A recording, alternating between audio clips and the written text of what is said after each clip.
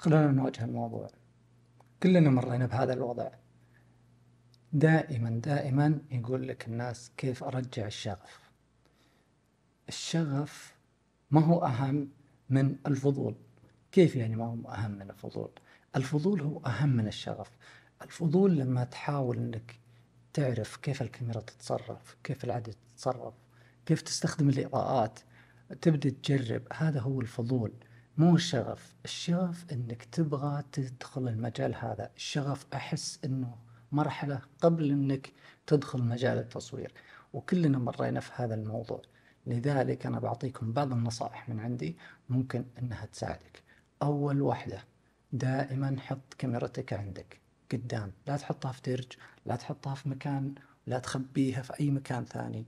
دائما خل كاميراتك وعدساتك دائما ظاهرة لك. حتى أنك تشوفها بشكل مستمر.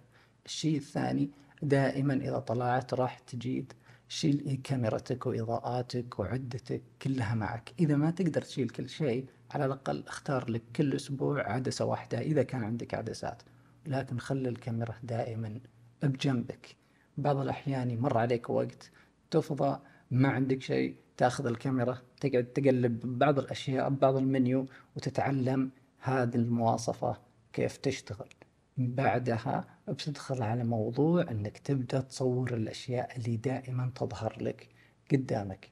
بولدك بنتك قهوة كوب سماء مبنى تبدأ تصور بشكل مستمر لأن الكاميرا دائما معك.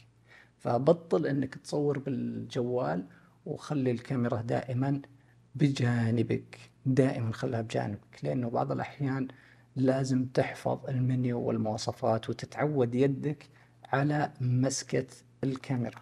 تتعود يدك على مسكة الكاميرا إنك كيف تضغط كيف تشغل أه تصير الكاميرا تتحكم فيها بيد واحدة بدون ما إنك تطالع وتشوف هذا يشغل هذا يطفى وتحفظ الأزارير من كثر ما تكون معاك الكاميرا.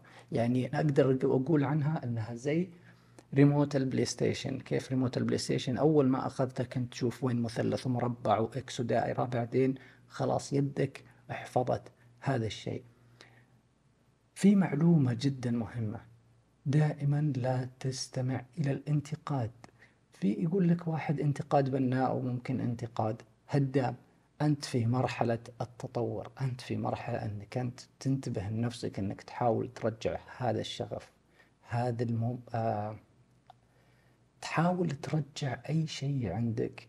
أنت تبغى تدخل مجال التصوير لذلك حاول أنك أنت تتبع هذه الخطوات وبعدها تبدأ تكتشف الأشياء والأسرار اللي موجودة في كاميرتك. كثير من الناس أواجههم ما يعرف المواصفات الموجودة في كاميرته. يقول أنا كيف أدخل على الخاصية هذه؟ كيف أغير الفريمات؟ كيف أغير إلى درجة أنه في ناس يسألون كيف يغير فتحة العدسة؟ ما هو عارف كيف يغير فتحة العدسة لأن الكاميرا دائما كانت بعيدة عنه. وخلونا نكون صريحين مع بعض. حتى حنا يعني المحترفين نمر بمراحل بعض الأحيان إننا نقول ما نبغى نصور. بعد فترة نطفش ونبغى نصور شيء. ما يهم إيش تبغى تصور. المهم إنك أنت تطلع تصور. وما يهم هل هذا يعني آه، يدخل فلوس أو لا. المهم إنه يعطيك فرح وسعادة إنك أنت سويت هذا الشيء. أنا ما يهمني إذا كان عندك آه، استوديو ولا ما كان عندك. استوديو أهم شيء إنه عندك كاميرا عندك عدسة تقدر تشتغل فيها. مهما كانت نوع العدسة مهما كان نوع الكاميرا حاول دائما تخلي كاميرتك في الشنطة وتشيلها دائما معك وتصور فيها. على سبيل المثال أنا كان معي Z خمسين وكانت تحت مرتبة السيارة بالضبط مع أني عندي زد سكس وعندي زد سكس تو وعندي Z nine لكن ال Z خمسين دائما أخليها معي مع أنها أقل مواصفات من الزد سكس والزد ناين أكيد لكن بعض الأحيان أحب تكون معاي كاميرا خفيفة كذا أنقلها وين ما رحت لذلك تبطل وقتها إنك تصور بالجوال وتبدأ تصور بكاميرا عادية لما تصور بكاميرا عادية وتطالع الصورة اللي موجودة بالجوال وتطالع الصورة اللي موجودة بالكاميرا العادية بتكتشف ذاك الوقت إنه هذا تصوير iPhone. جوال وهذا تصوير كاميرا وبتلاحظ ال quality اللي موجود عندك. بعد فترة تبي تبدأ تعرف إنه في شيء اسمه framing أو تعرف إنه في شيء اسمه تأطير أو إطار أو تكوين سمها زي ما تحب. أهم شيء إنك تستخدم الشاشة وتقول لنفسك الصورة هذه أو الفيديو هذا إيش يعني قبل ما تصور. وقتها أنك أنت تبدأ إيش؟ تفكر بماهية هذه الصورة وإيش توصل الرسالة هذه الصورة.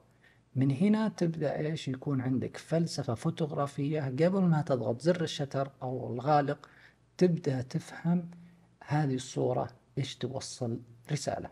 مثل المصورين الصحفيين دائما يوثقون اللحظة. فهنا نتكلم عن توثيق اللحظة اللي أنت تبغى تصورها. إيش توثق؟ هل هو شكل جمالي؟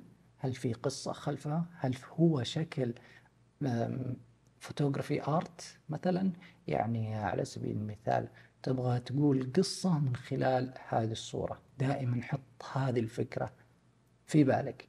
لكن إذا كنت مصور مباني مصور landscape مصور بورتريه فما يعني هذا المصطلح أي شيء.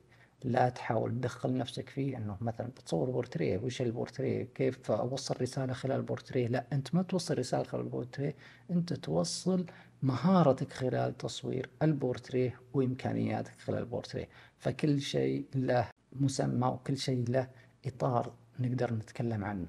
الشيء الأخير اللي ودي أختم فيه دائما دائما دائما حاول إنك تتعلم على كاميرتك. تجرب المواصفات اللي موجودة. جرب الفلاتر اللي موجودة في الكاميرا. جرب عاد سرعة ال shutter. إيش يسوي سرعة ال shutter؟ سرعة ال shutter إذا رفعته وإذا نزلته لو رفعته في النهار لو نزلته في الليل إيش اللي بيطلع عندي صورة؟ وجرب الآيزو اللي عندك. شوف المواصفات اللي بالآيزو. صور على آيزو 100 400 800 1600 وراجع الصور هذه. بعدها بتعرف إمكانيات كاميرتك وين تقدر ترفعها مثلا بالآيزو. في كاميرات لما ترفعها 400 بيبين عندك noise وفي بعض الكاميرات لما توصل إلى 4000 ما يبين فيها noise. هذا على سبيل المثال. وبس هذا كل اللي عندي وأتمنى أن هذا الفيديو يعني يفيد الجميع. شوفكم فيديو ثاني. أخوكم سامي بليهي. في أمان الله.